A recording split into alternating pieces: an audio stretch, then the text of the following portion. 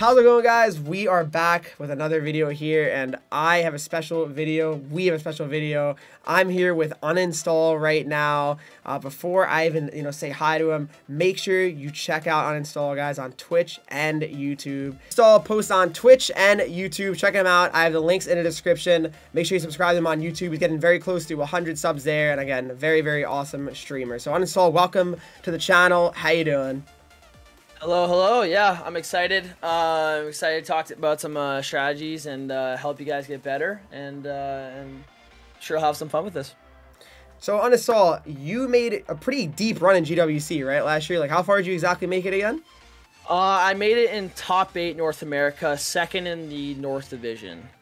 Yeah, so that's that's very very impressive. So, I mean, definitely someone that I will listen to. I mean, like I said, I mean, I'm I'm not definitely on the level of you, so I mean, I can definitely learn something from this as well, and I know a lot of people that are watching will learn a lot. So here we go. All right, so looking at the forecheck, the one-two-two passive. So how would you really explain the one-two-two passive strategy?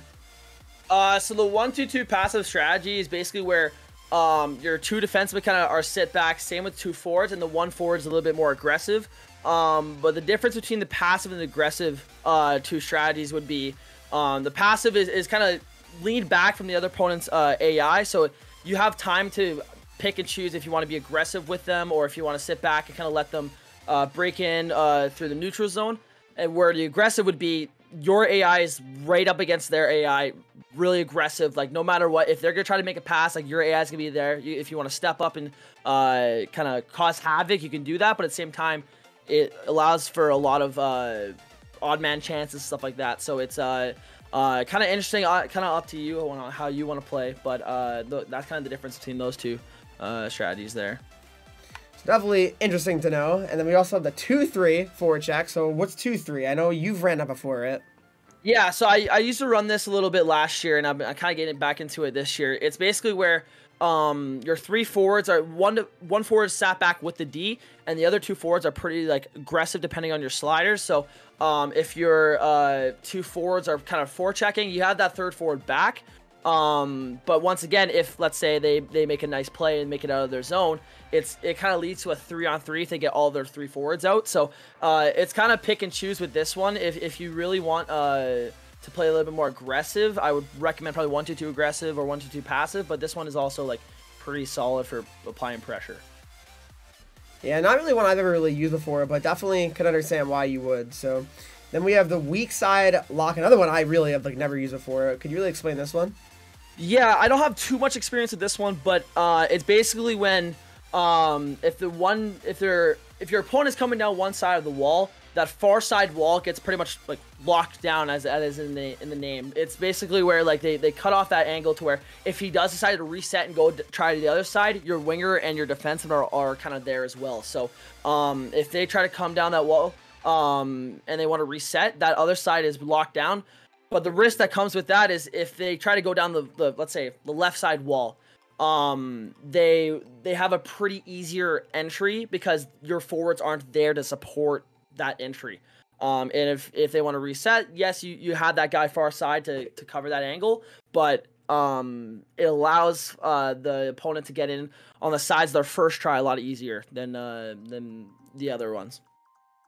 So yeah, I mean the fortune again, it's all opinion, but I mean, which one do you think is currently the best right now? What would you recommend to people?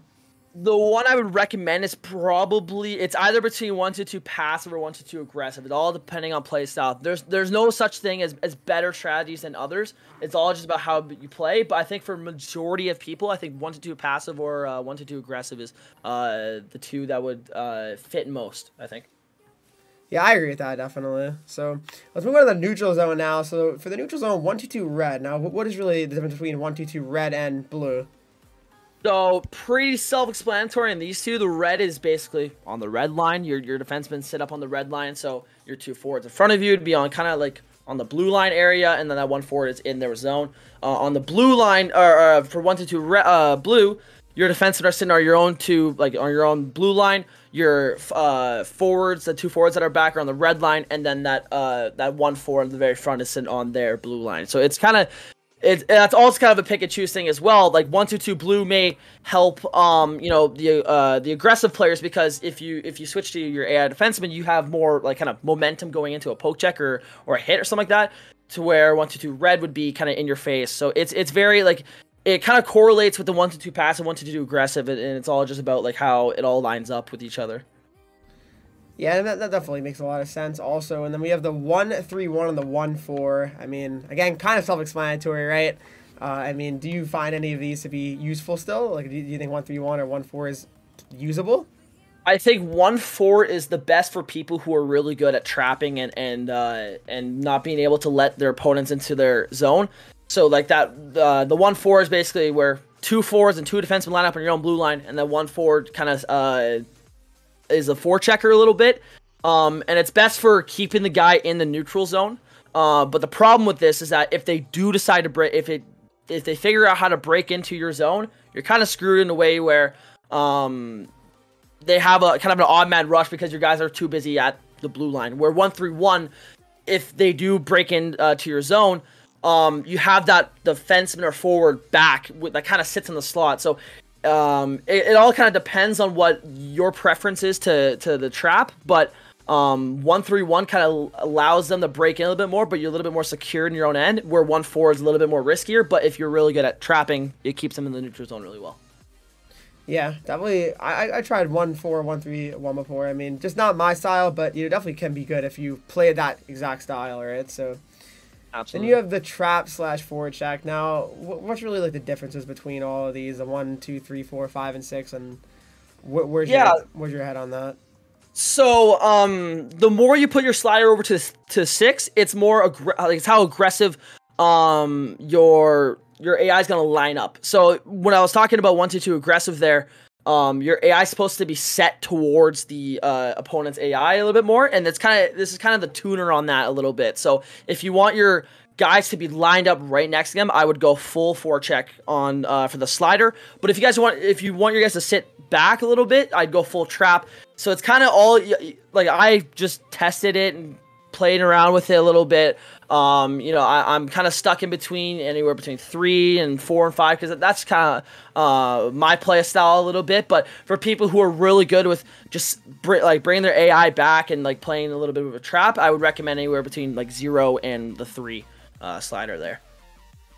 Yeah, I mean, definitely that makes a lot of sense. I mean, just depends how aggressive you want to play, right? Yep.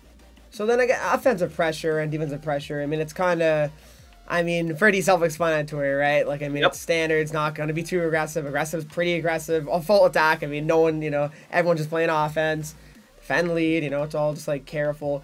Which one do you think is like the the smartest to play though from the get go? Um, to start off, I'd probably recommend using standard. Now, this is kind of a thing where um, if you learn a lot of these strategies, you get that advantage over your opponent. Where if you start to recognize stuff in game, you can pick up on you know certain tendencies that they like to do, and this is where strategies can help a lot with uh, you know either picking off passes or getting chances in, in their zone and stuff. So if I would recommend starting off with a standard, but then if the guy, let's say I don't know, is really bad under pressure, if you get aggressive at one time and he starts getting uh, he, and he, starts like fumbling his pucks a lot and stuff like that. I'd recommend probably going aggressive or maybe even full attack.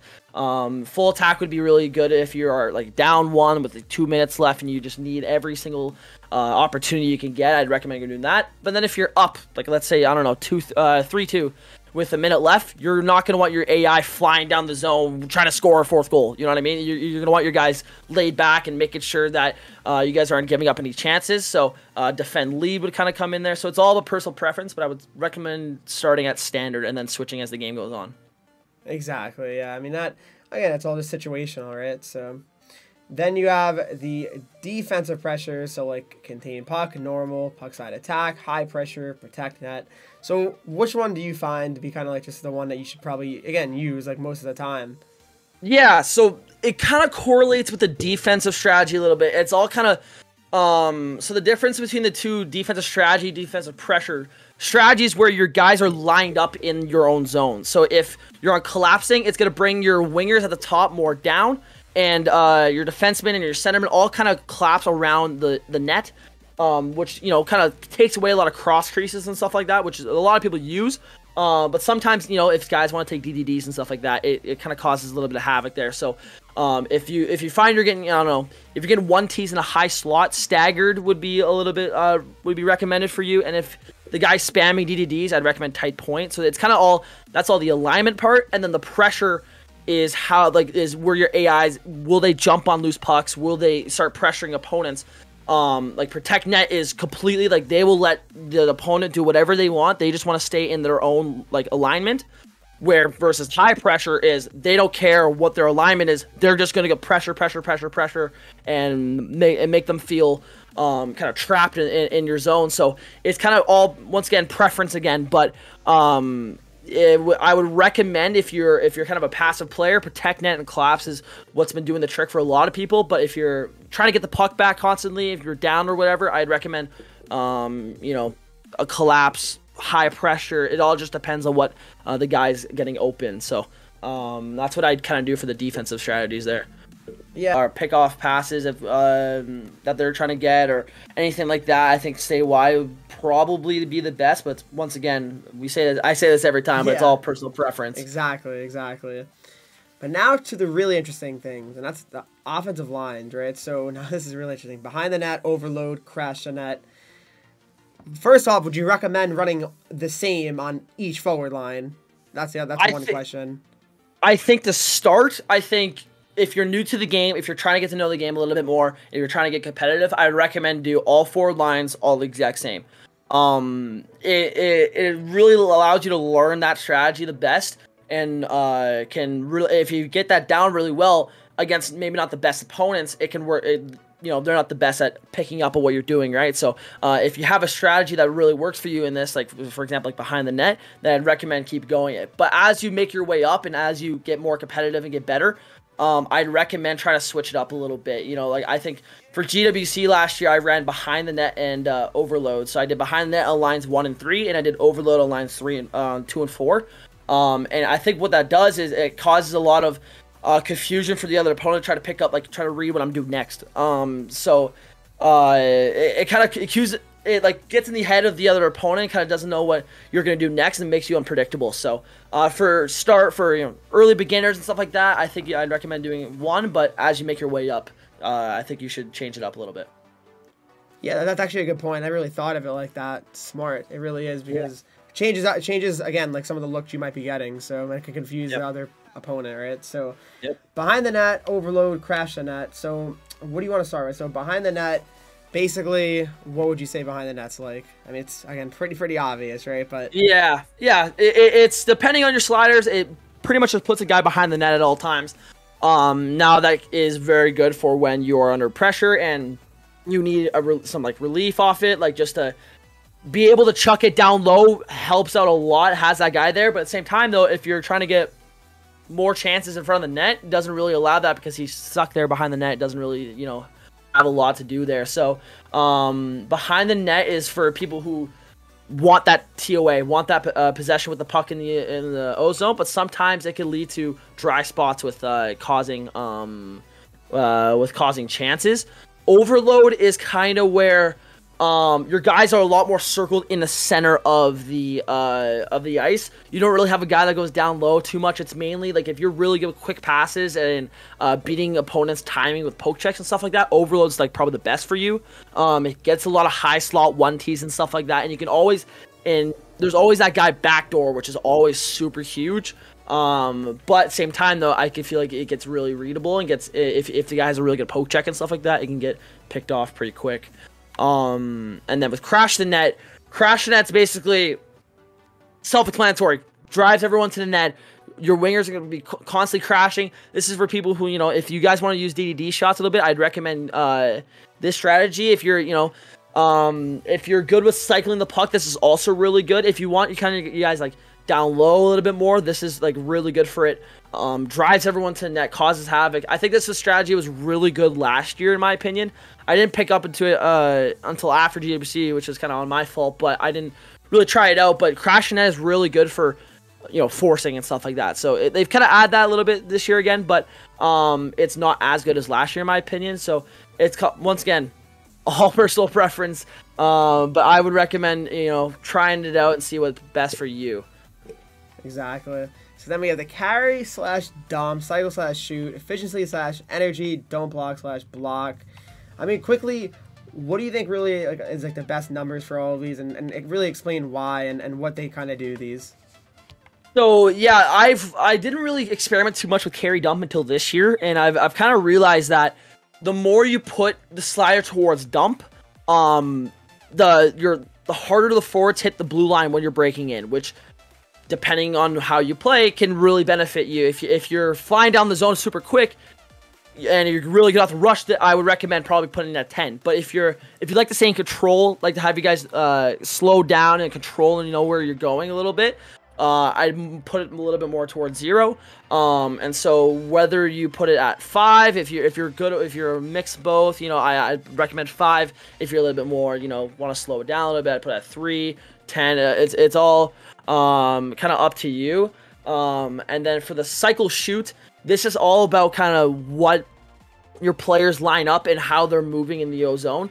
Um, I found like uh, on on uh, shoot ten there, um, it moves your guys constantly. They're not really standing. Uh, they're not really like standing in one position. They're constantly moving. But sometimes that's that's a little bit tough because you know you, you got to time it really really well to like to make sure that you're hitting the spots at the right time. Um, to where zero it stays. Pre- they they stay pretty much like they stand still pretty much, and so you have to manually move everyone basically, and uh, and so it's once again you gotta kind of test that out yourself and kind of see what figure out. I've I've been running um two recently, which has been pretty good, but um I've heard ten is good for people. I've uh, this one's the most random. I think I think a lot of people are a lot of bit different, are are, are quite different uh, with that slider.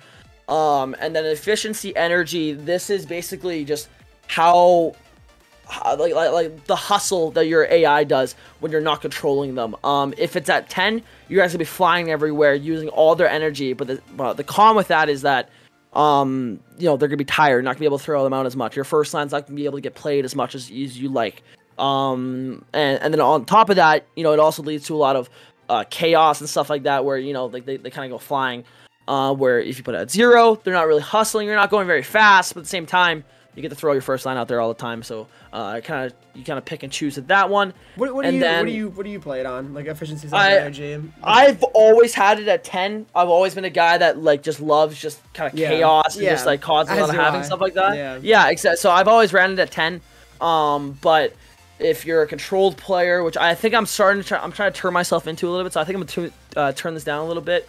Um, but yeah, I'd, I'd recommend going ten if you're full uh kind of chaos guy. But um, if you kind of want to control, I'd put a little lower.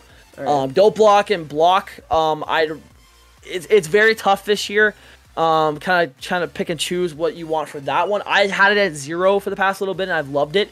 It's basically just making sure that your guys aren't going out of their position to go block a shot.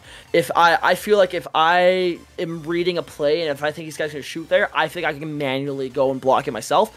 Um, and the main reason why I have it at zero is because um uh, screens are really really good this year. And if you can get a screen and shoot right after uh, you come out of it goalies don't really know where the puck's coming from and so it leads to a lot of goals. And so i find if you have it at you know 10 block for example um it, it allows a, it allows a lot more chaos when it comes to shots from high slots and stuff like that the goalie's not being able to read it. So um that's kind of what i'd recommend there And now for the defensive pairings, you have hold line slash pinch, cycle slash shoot. So these not really much to talk about here, but I mean generally, like, what do you recommend for these?